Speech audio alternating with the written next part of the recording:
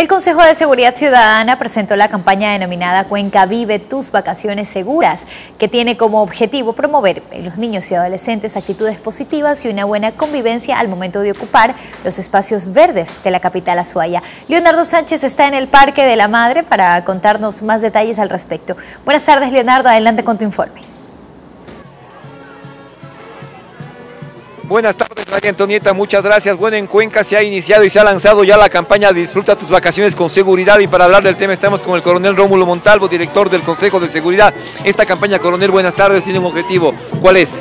Buenas tardes. Eh, justamente nosotros es generar una cultura de seguridad de los niños, que se apropien de los espacios públicos, esa es la disposición, trabajar con los niños, va a estar la seguridad, va a estar Guardia Ciudadana, Policía Nacional, las cámaras están instaladas y van a dar la seguridad en todos los espacios públicos. Justamente en ese sentido también se ha presupuestado ya más de 630 mil dólares para que el Consejo de Seguridad instale cámaras en las áreas verdes, en las márgenes de los ríos y botones de seguridad.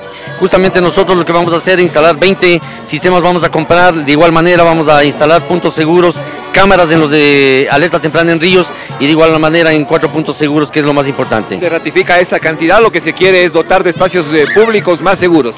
Todos, es la disposición señor alcalde y lo vamos a trabajar de esa manera.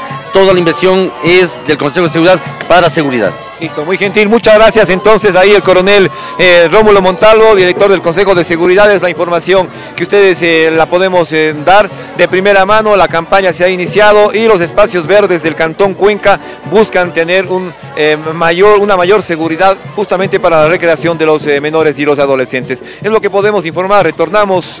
Buenas tardes.